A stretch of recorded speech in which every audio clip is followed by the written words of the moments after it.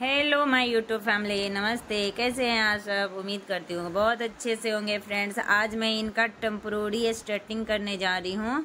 और आप पूरा वीडियो देखिए, लास्ट से देखिए तो आपको भी समझ में आ जाएगा किस तरीके से टेम्प्रोरी स्ट्रेटनिंग किया जाता है, क्योंकि वो भी आना बहुत ज़रूरी होता है। उसी से यदि आपको टेम्प्रोरी स्ट्रेटनिंग करने आता है तो आप परमानेंट स्ट्रेटनिंग भी आसानी से आप कर सकते हैं। तो ये वीडियो स्टार्टिंग से लेके लास्ट तक ज़रूर देखें और वीडियो अच्छा लगे तो ज़रूर लाइक करें। तो फ्रेंड्स देख सकते हैं, इनका मैं स्पा की हूँ सबसे पहले। और इनका स्ट्रेटनिंग मैं ही की थी दो साल पहले और ये काफ़ी अंदर से आ, आ, निकल गया है न्यू ग्रोथ हो गया है और इनको स्पा चाहिए था और स्ट्रेटनिंग चाहिए। तो ये देख सकते हैं स्ट्रेटनर मैं ली हूँ आइकॉनिक का ली हूँ और इसका टेम्परेचर रखेंगे 190 ठीक है? 190 यदि आप टेम्प्रोरी कर रहे हैं तो 190 टेम्परेचर रखिए। बाल का टेक्सचर देख लीजिए यदि बाल मज़बूत है तो आप 230 भी रख सकते हैं। यदि आपका कमज़ोर हेयर है थिन हेयर है तो आप 190 आप रख सकते हैं 130 भी रख सकते हैं।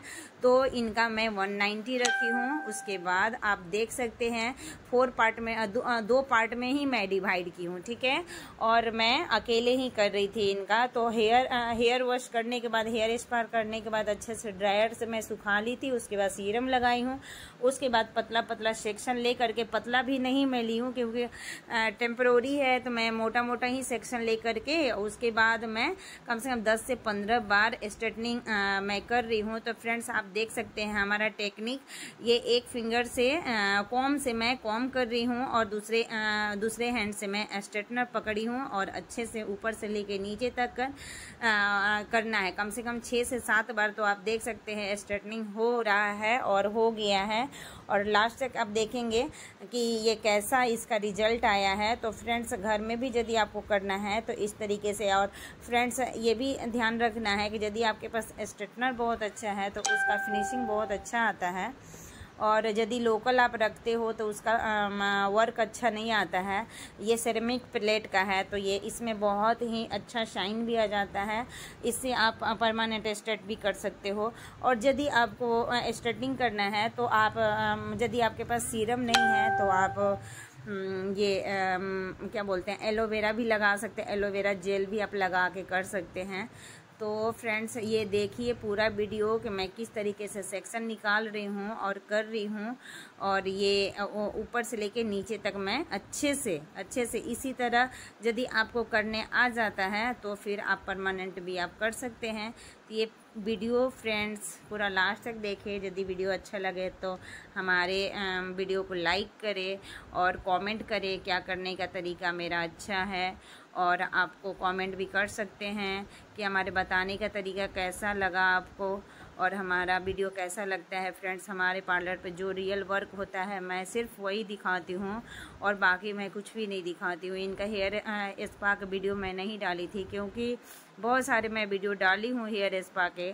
आप चाहें तो जाके उसको देख सकते हैं और मैं इसलिए नहीं डाली तो इनका टेम्प्रोरी स्ट्रेटनिंग था तो इसलिए मैं इसको डाले। तो फ्रेंड्स कम से कम ये वन मंथ चल जाता है। यदि आप नहीं वॉश करते हो तो वन मंथ चल जाता है। वैसे तो वन मंथ कोई रखता नहीं है। हेयर शैम्पू तो होता ही है। कम से कम आपको दस दिन या एक एक वीक में तो शैम्पू करना ही पड़ता है। तो फ्रेंड्स जब तक आप शैम्पू नहीं करते हो, तब तक आपका स्ट्रेटनिंग रहता है। शैम्पू करने के बाद थोड़ा सा चेंजिंग हो जाता है। जो आपका रियल है बाल, वो दिखने लगता है। तो फ्रेंड्स देख सकते हैं, इनको पार्टी में ही जाना था।